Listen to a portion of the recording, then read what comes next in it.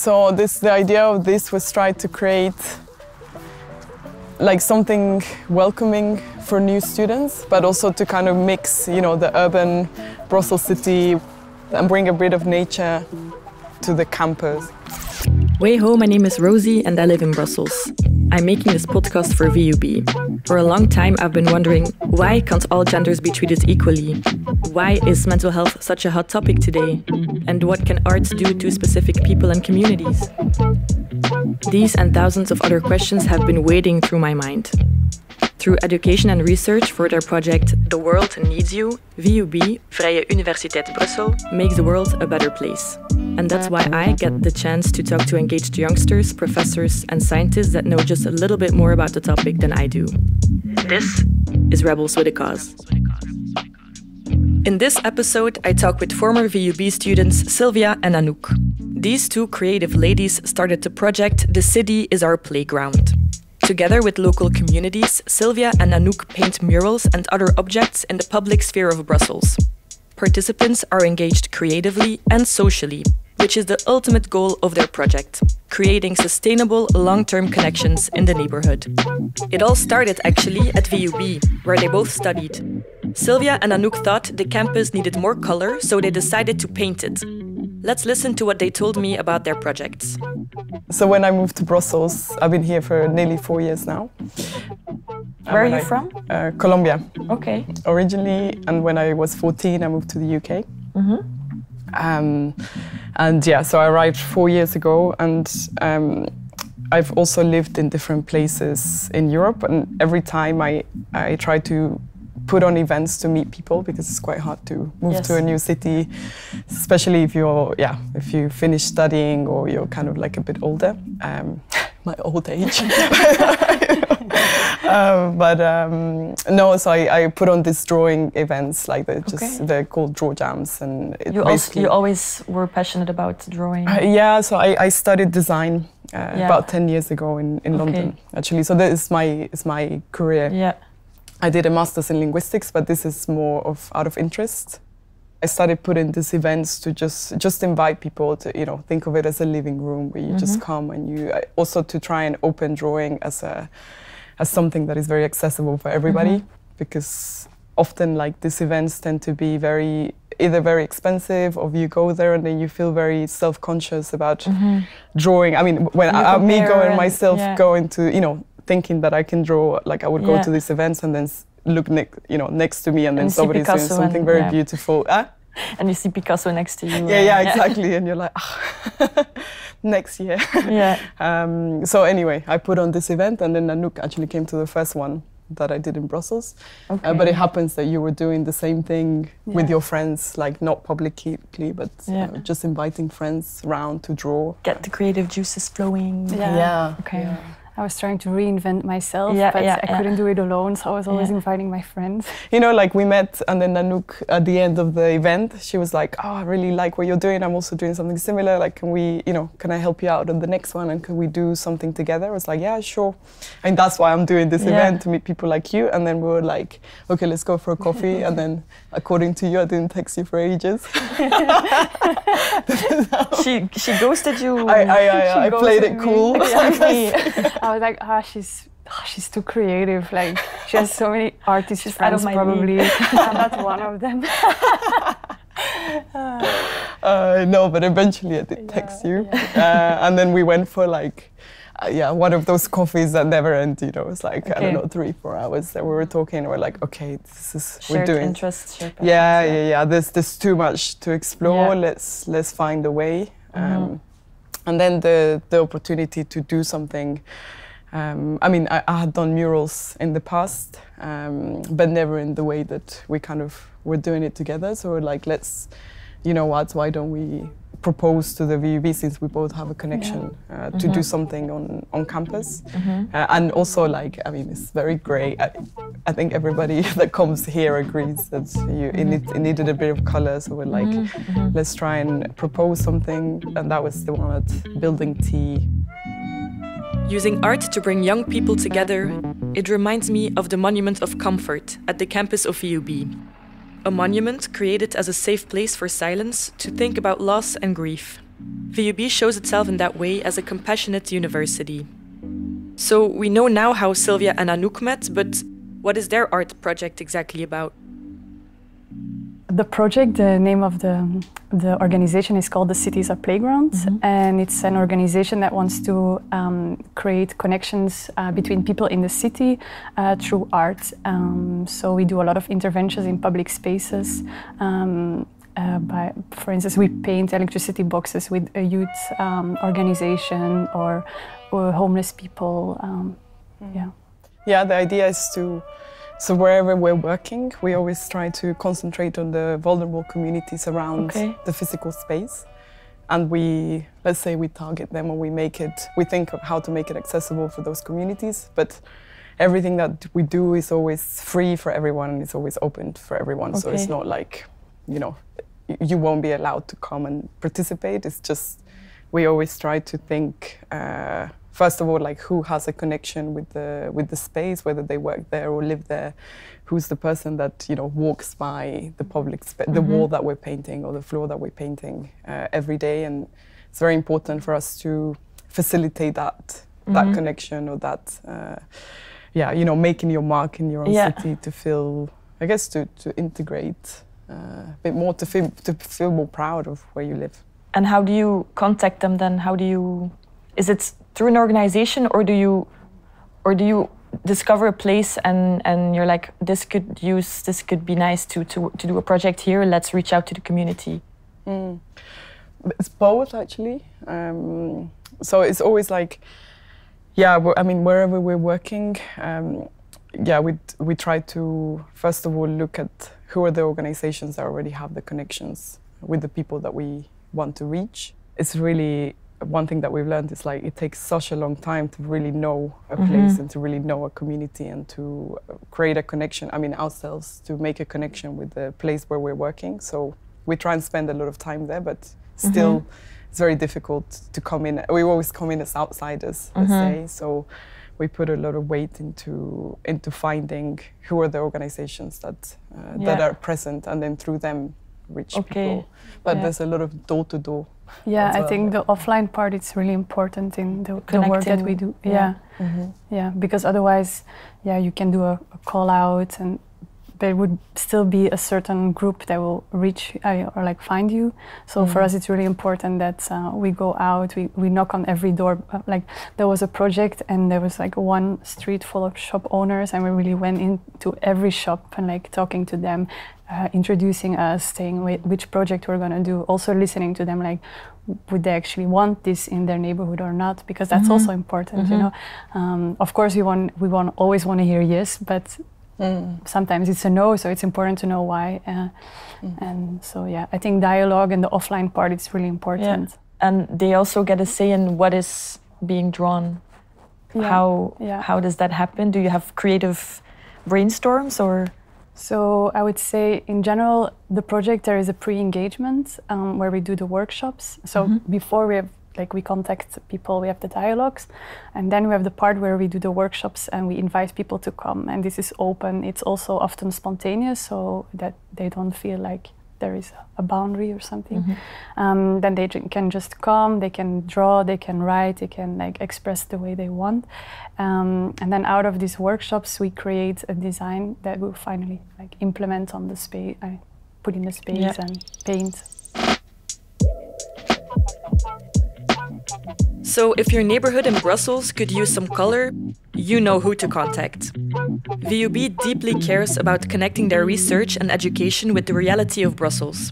And that's a reality of a lot of different languages and cultures trying to coexist. VUB wants and needs to collaborate with the city and everyone who lives there. They even have a campus called U Square right in the middle of the busy student neighborhoods where they bring people, city, and knowledge together. I had a chat with Dimokritos Kavadias, or as he likes to call himself, Dimo. Dimo is a professor at VUB and knows everything about the youth in Brussels and how to create durable connections between them. Dimo and I talked about how the youth is shaped by their environment and about how they shape it themselves. But before diving into this, can we actually consider one consistent group of youngsters in Brussels, or is that an illusion? Well, it's not, not an illusion as such, but the first thing uh, to, to uh, get clear uh, is that there is not one youth in Brussels, but there are different different young people in Brussels. Uh, and that's the second thing. Uh, the, the, Brussels is a very young city, uh, demographically speaking. 25% of its population is from 0 to 25 years old. So it's, it's, a, it's a big, sizable part of, of the population. And also it's a quite diverse population in the sense that well we have 183 nationalities represented in brussels a plurality of cultural groups and if we look at the young people uh, in brussels from uh, the age of 0 to 17 uh, we see that uh, one out of 10 has belgian parents is from belgian descent with belgian grandparents meaning that nine out of ten uh, I, uh, are are uh, either from neighboring countries, Europe 21, Eastern Europe. Um, Northern Africa, Morocco, Tunisia, Turkey, the rest of the world. Uh, so, so it's it's really a city consisting of minorities, uh, and especially among the young people which means that uh, also religion has changed, uh, religious affiliation has changed. So almost one on, in two uh, is, is, is now Muslim in Brussels, and, and and by that I don't mean I don't mean to, to, to say that it's that it's a danger, no, because if you if you looked if you did uh, research uh, 30 years ago, 70% uh, of our young people were Christians.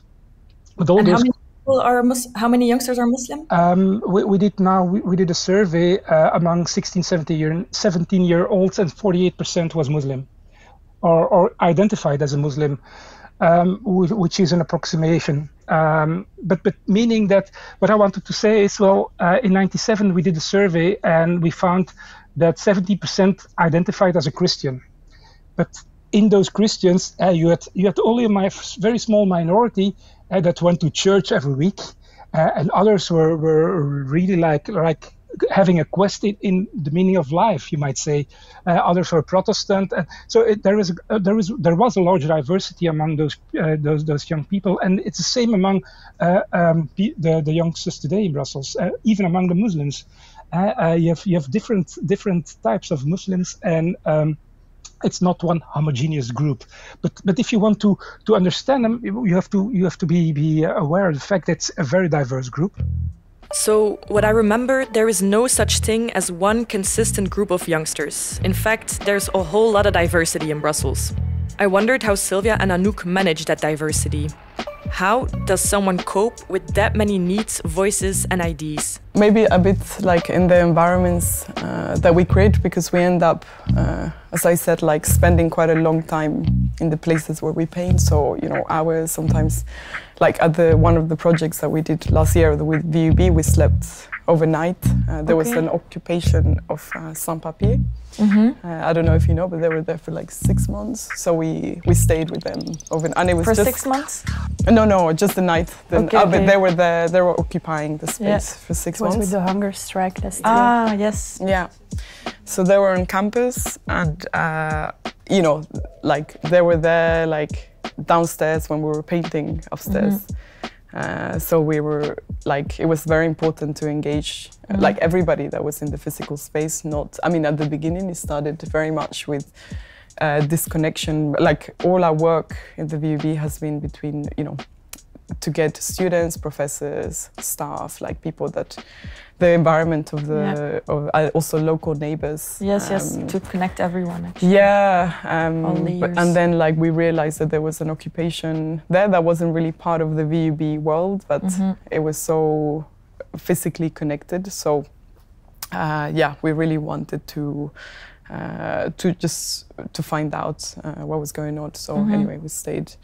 Uh, and we realized like actually this, this work is so much bigger than mm -hmm. I mean just because we're a university doesn't mean that mm-hmm. you know you think of university you think okay students professors but, mm-hmm. but there are so many other things going around yeah. the university and we were like by spending Peel so much onion. time yeah, yeah. and yeah. then you know we were there like one eve- in the if you're there in the evenings like the type of people that you, you have the teenagers coming to put in the loud music. They don't even study at the VUB, but yeah. they know that there's nobody there, so they can come and use the space. At the weekends, you have the kids uh, that are using the, the green space because yeah. there isn't much around. And uh, in one of the projects, they, you know, some of the kids had never met a student before, mm -hmm. but they, they have been coming to the university for the last mm -hmm. six mm-hmm. years to play yeah. and this is very bizarre yeah, you know yeah. to find so all these little things that we're like okay there is there are so many things by spending time uh, in a place you find out so much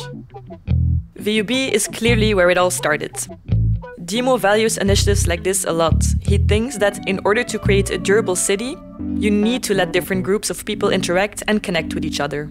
Just like in U Square, the central VUB hub that we mentioned just before. But there is more. There are a lot of initiatives, um, and and that's one of the things that does that is uh, quite um, that, that that is interesting in Brussels. It's, it's a young city, it's a dynamic city.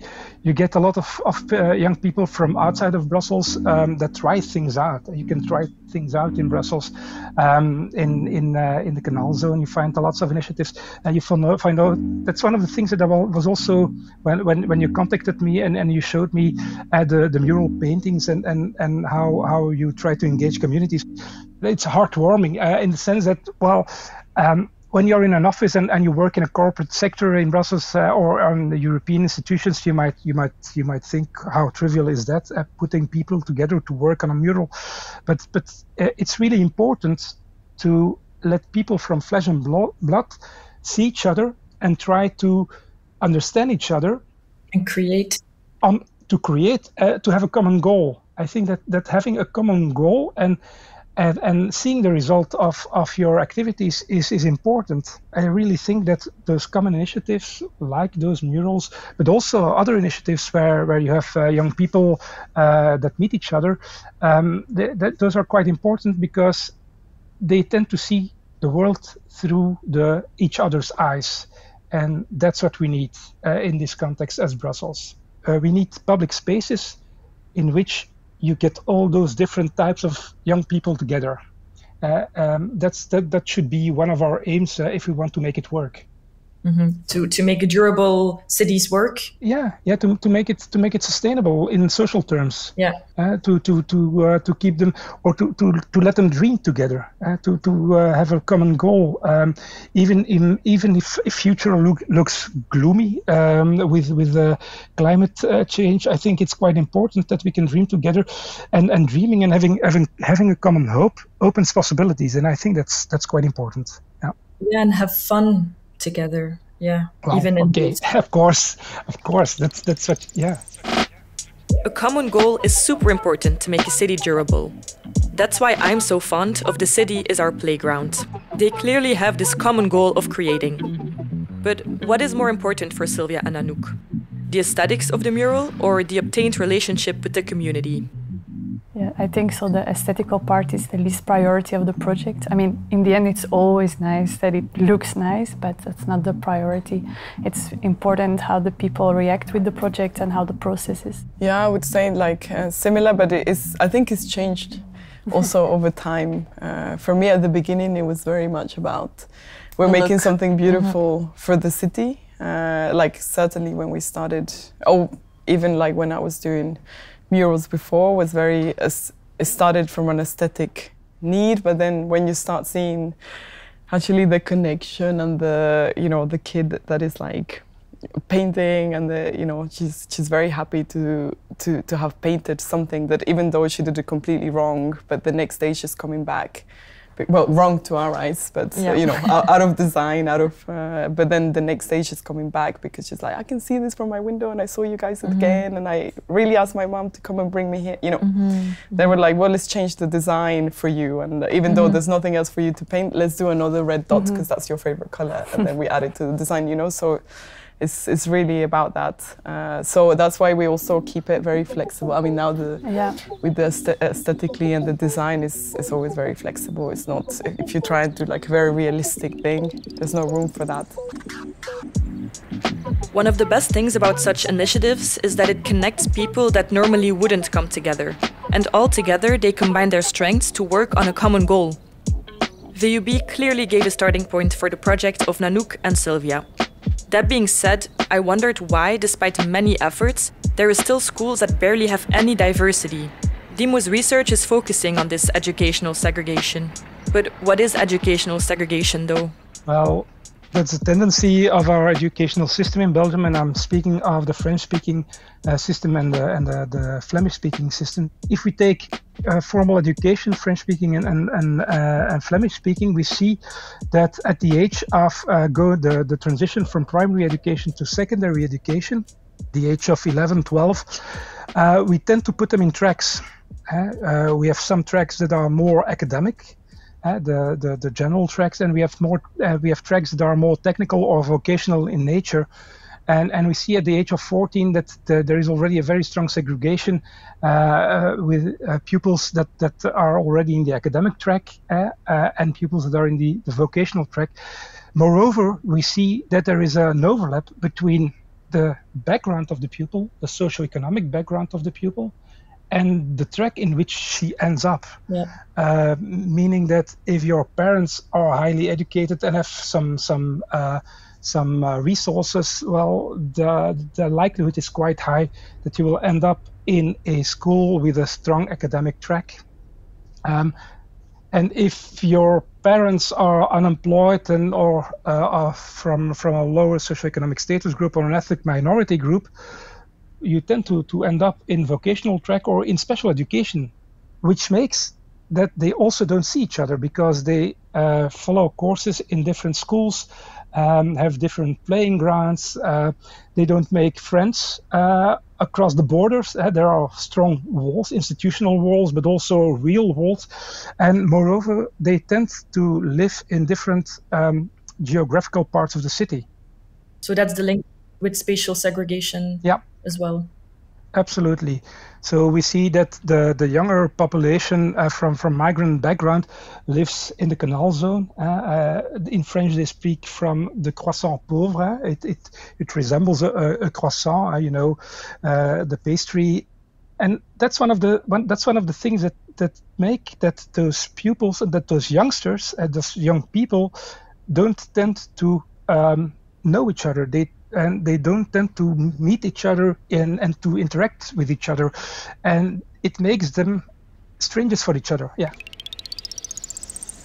Spatial segregation, educational segregation, and socio-economic segregation are all intertwined. This makes it very important for different communities to connect and maybe inspire each other in their decisions. I think schools are an excellent place for this because they have the power to bring change. I wondered what Dimo would say. The problem is that schools uh, are the first institutions to which we look if there are social problems, because that's one of the only places that are left where you get all those people together from different backgrounds. So, one of the things uh, we should strive for is to have schools that are mixed. I think that's quite important. Uh, meaning that you should try to mix schools and not segregate schools, and that's something accessible, yeah, for everyone, right? Yeah, yeah, yeah, yeah. Indeed, that's quite important. That's that's one thing on the higher level.